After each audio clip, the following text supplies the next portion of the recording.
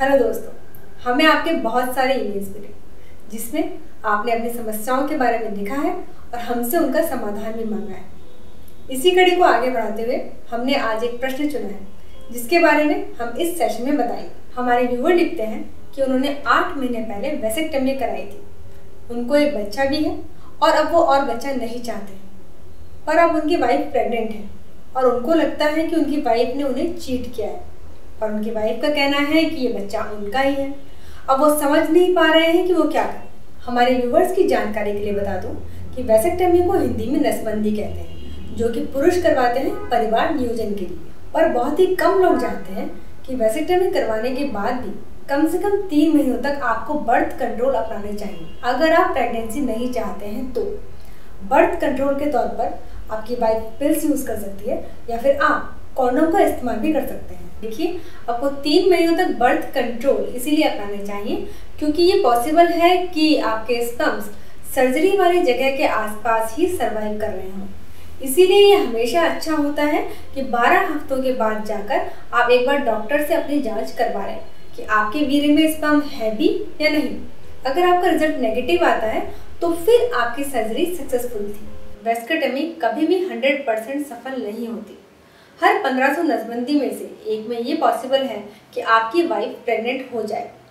इसीलिए बिना इस बात को चेक करें कि आपकी नसबंदी सफल थी या नहीं, आपका, आपकी वाइफ को ब्लेम करना ठीक नहीं।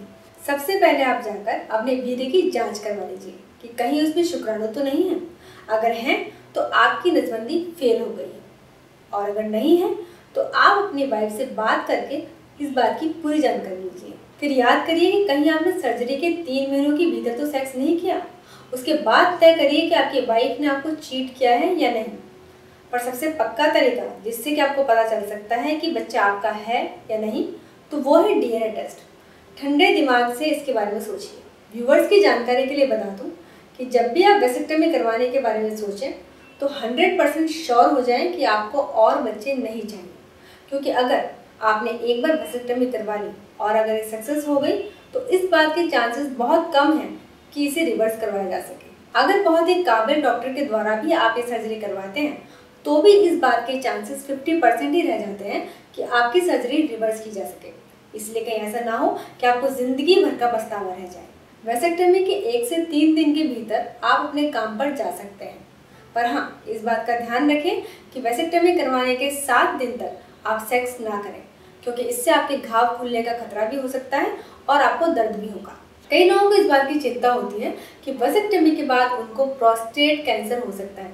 तो मैं आपको बता दूँ कि न्यूजीलैंड में की गई एक स्टडी के अनुसार ये पता लगाया गया है कि वसेक्टमी से प्रोस्टेट कैंसर नहीं होता है। इसीलिए अगर आप बिल्कुल श्योर हैं कि आपको आगे और बच्चा नहीं चाहिए तो किसी अच्छे डॉक्टर से अपनी नसबंदी करवाएँ।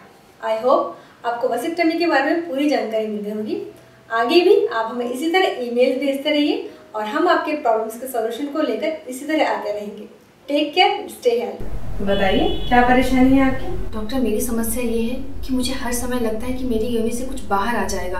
बहुत अनकंफर्टेबल लगता है। बार बार लू भी जाना पड़ता है और सेक्स के टाइम बहुत पेन होता है। मुझे समझ में नहीं आ रहा डॉक्टर कि मैं इस समस्या को ठीक से कैसे एक्सप्लेन करूँ? जो लोग हमारे वीडियोस देख रहे हैं अगर उनके जीवन में कोई परेशानी है शारीरिक या मानसिक तो नीचे दिए गए ईमेल आईडी पर हमसे संपर्क कर सकते हैं।